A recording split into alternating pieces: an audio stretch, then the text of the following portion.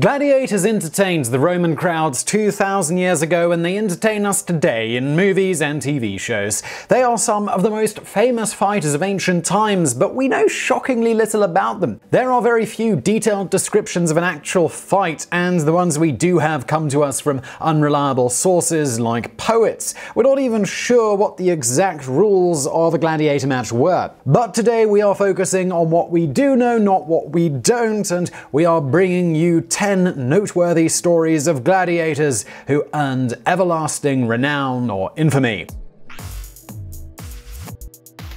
Number 10. Flamma. For the majority of gladiators, the most cherished weapon was a simple wooden sword or staff called a rudis. This is what they used in training, but it held great significance for a different reason. If a fighter made a great impression on the crowd, and more importantly, the officiator of the games, he could have been awarded a rudis, which meant that he had won his freedom. Obviously, this was the goal for many gladiators, but not for Flamma. We know little about him, and most of it comes from the inscription on his grave gravestone in Sicily. He was a Syrian by nationality and fought 34 times as a gladiator. He was a secutor, a fortified class of gladiator who employed armor, a heavy shield, and a sword called a gladius. Flamma won 21 battles, 9 of his fights ended in draws, and 4 were losses, although he was spared from death in 3 of them. His final defeat cost him his life, and Flamma died at the age of 30. We don't have many detailed gladiatorial records, but this is one of the most impressive so far. What makes Flamma truly stand out as a gladiator is that he could have walked away from the life if he wanted to. He was awarded a Rudis no less than 4 times, but he chose to keep on fighting each time. Number 9. Carpophorus. Technically The term gladiator only refers to fighters who are pitted against other men. However, it is often used in a broader sense and therefore also includes bestiarii, meaning men who fought beasts.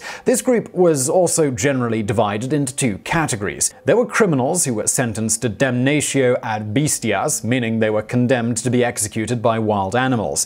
There were also venators, skilled fighters who chose to take on the beasts for money and glory. Of the latter, perhaps none were greater than Carpophorus. He rose to fame during the Games of 80 AD, which were ordered by Emperor Titus to celebrate the finished construction of the Colosseum. Carpophorus so impressed Martial that the latter wrote three epigrams detailing his exploits. He claims that Carpophorus bested a boar, a bear, a lion, and a leopard in the arena, and that afterwards he was still in condition to keep on fighting. He could have taken on the Marathon bull and the Nemean lion with ease, and a single strike from Carpophorus would have slain the deadly Hydra. He deserved all the glory bestowed upon Hercules because Carpophorus managed to defeat 20 animals on one occasion. It is at this point we should consider that Martial was a poet, not a historian, so his artistic side might have flared up a bit too much when describing the exploits of this man. Number 8. Amazonia and Achillea. Gladiator fighting was undoubtedly a male-dominated sport, but it was not entirely restricted to men.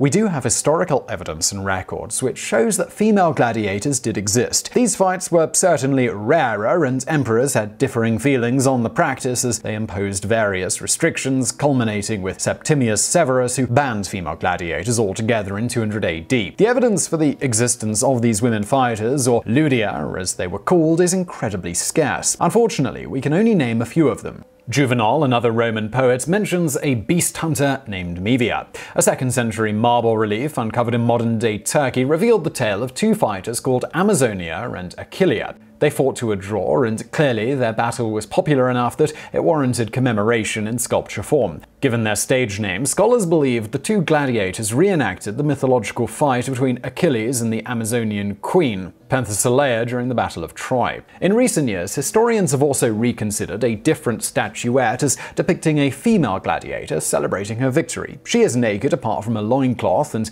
knee guards and holding a scythe-like tool above her head. Scholars used to think that she was cleaning herself, but now they believe that she was, in fact, raising her hand in triumph. The most exciting discovery came in 2000 when excavators in London yielded the first and so far only remains belonging to a female gladiator, known informally as the Great Dover Street Woman. Number 7. Marcus Attilius. Now we come to Marcus Attilius, a young combatant who might be responsible for the greatest upset in gladiator history.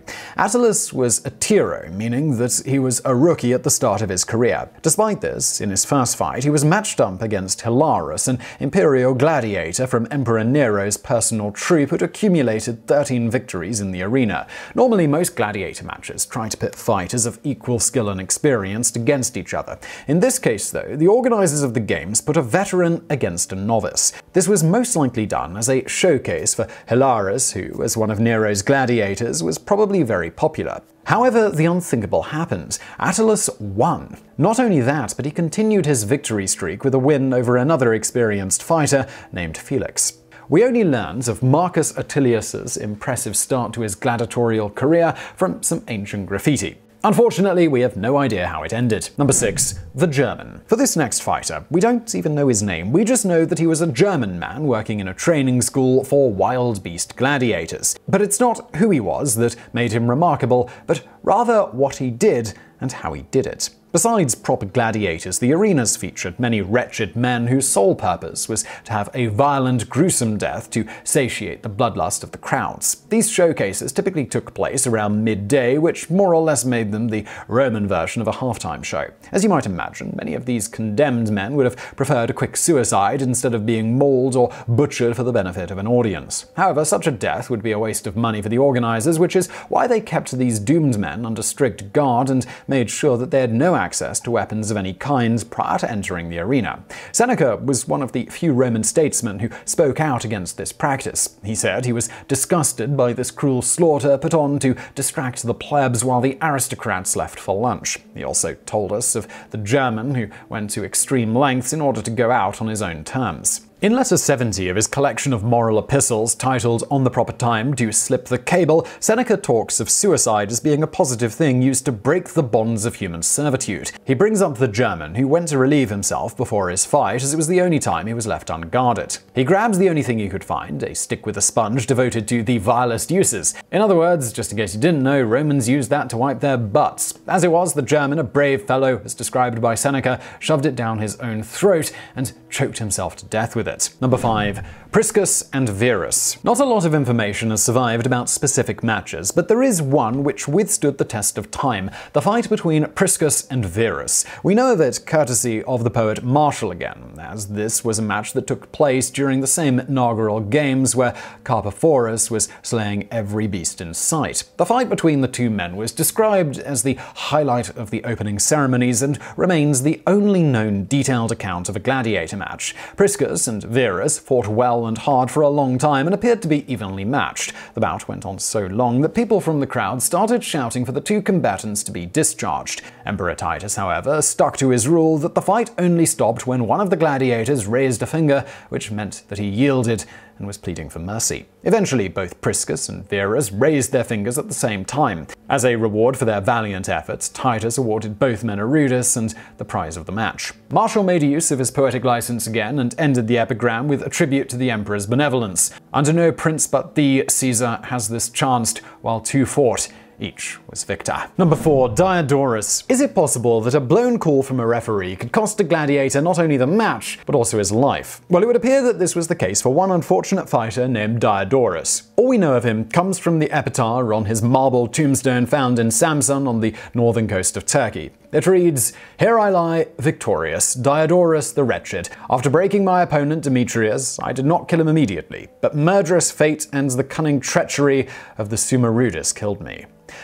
Usually, the inscriptions on gladiator tombstones only provide modest information such as their names, their win loss record, and perhaps how they died in the arena. That alone makes this grave marker unique and invaluable. It also provides us with significant proof that maybe gladiator fights were not all brutal melees with no regards for rules. They even appeared to have referees called Summa Rudis who were there to make sure that the fighters adhered to the guidelines. At the same time, though, it is also worth mentioning that Diodorus' tombstone was dated to the 2nd and 3rd century AD.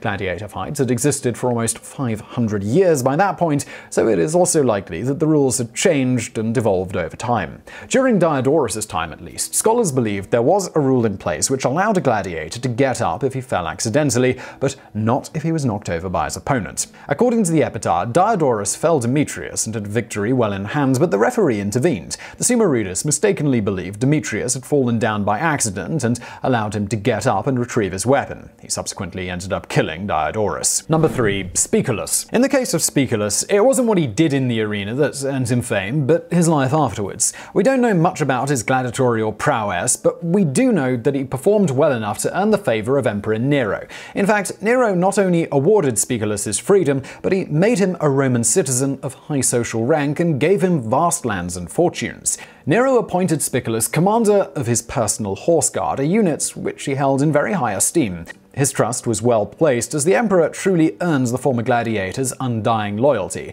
When the plot to overthrow Nero was enacted, his praetorians betrayed him, but the horse guard, led by Spiculus, did not. Eventually, the rest of the guardsmen abandoned the emperor, but Spiculus remained loyal and was lynched by an angry mob as one of Nero's men. It was later reported that in his final hour, Nero was looking for Spiculus as he wanted the gladiator to be the one who would deliver the killing blow. Number 2. Commodus. The emperor always experienced the gladiator fights from a special luxurious box, not from the arena floor in the middle of the action. That is, unless the emperor in question was Commodus. Let's make this clear from the start. Commodus was insanely cruel and egomaniacal. He saw himself as the reincarnation of Hercules and looked for any opportunity to show off his physical prowess. Of course, he couldn't resist the allure of the arena. All his fights were fixed, obviously. His opponents always submitted and he was never in any physical danger. When he slew animals, he did it from an elevated platform that kept him out of harm's way. According to Cassius Dio, he killed a hundred bears in one day this way. Shockingly, Commodus restrained himself and used a wooden sword when fighting against gladiators.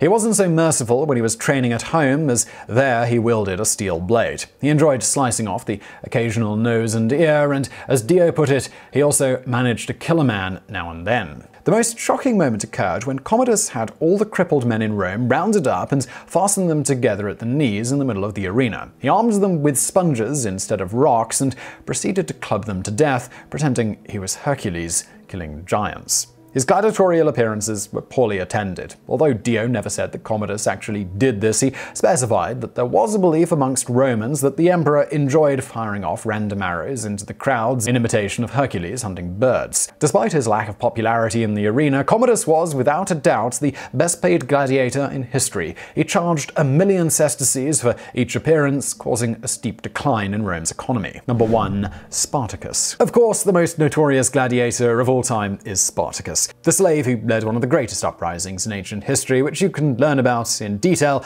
in our video about Spartacus on our other channel, Biographics, link below. In 73 BC, almost 80 slaves escaped from the gladiator school of Batiatus in Capua.